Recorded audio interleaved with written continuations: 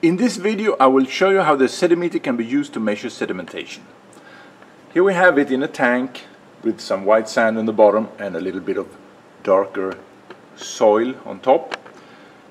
And it's measuring in real time every 5 seconds. The top chart here shows the intensity from the 36 optical backscatter detectors, 1 centimeter apart. And in this chart in the graph in the bottom here we see the level in red line is the interpreted bottom level and the blue line is the turbidity measured on the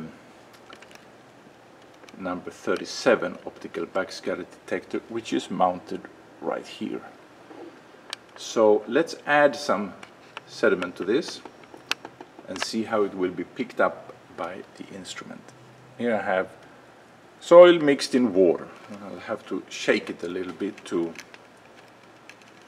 to be able to pour it in.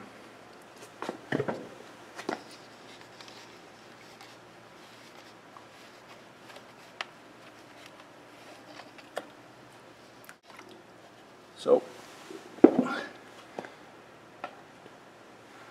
Okay, now the tank went completely dark. We can still the blinking that you see is actually from this one here that's reflected. So you don't see through it. We can't see the light of the SediMeter. We don't see a thing actually. We just see that the whole tube is, is dark. So let's go over here and see what the instrument has picked up. We've seen here how the, the sediment in the water went up first and then gradually fell back down and on the red line we see how the the bottom level is going up gradually. We can change the scale actually we can take this tool here the zoom tool and zoom in on the level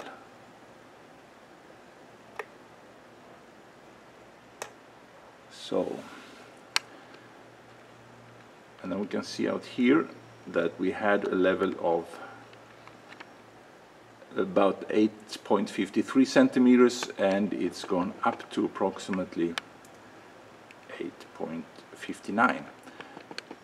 But we don't have to go to the graph to measure it. We can look in the table in the bottom. Here is a, a tab here called monitoring. If we go to monitoring and click reset, it will take the start values as the origin and then we go to present situation and it will show us the difference directly.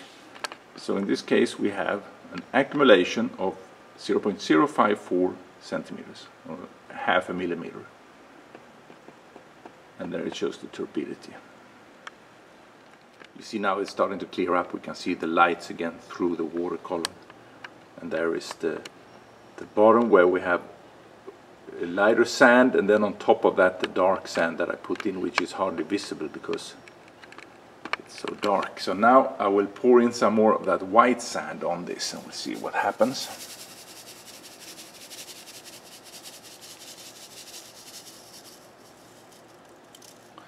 Create a lot of turbulence when it's falling down.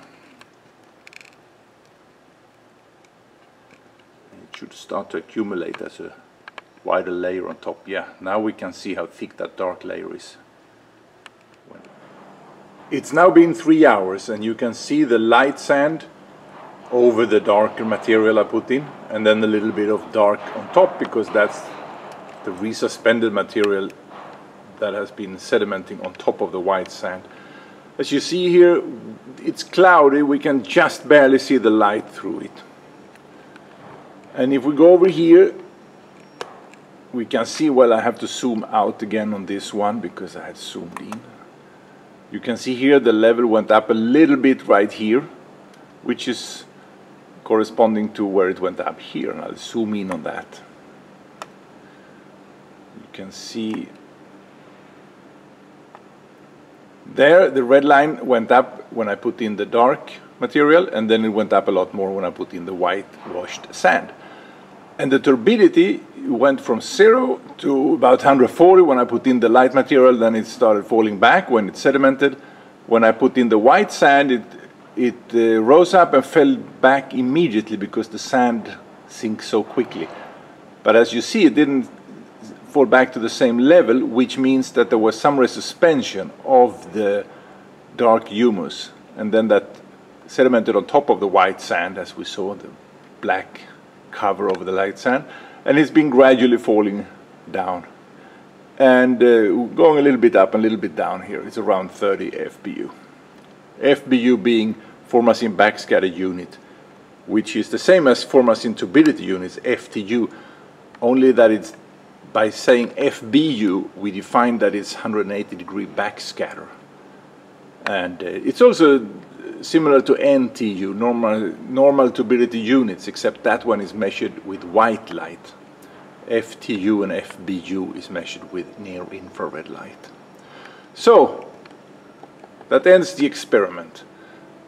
And as we've seen, you can use the SediMeter to measure both the turbidity when a sediment pulse comes in, suspended sediment, and to see how it's settling from suspension and how that accumulates on the bottom. Given the high resolution of the bottom measurement, it's also possible to see when uh, there is any change on the bottom, which could be, for instance, due to sediment transport, bed load transport.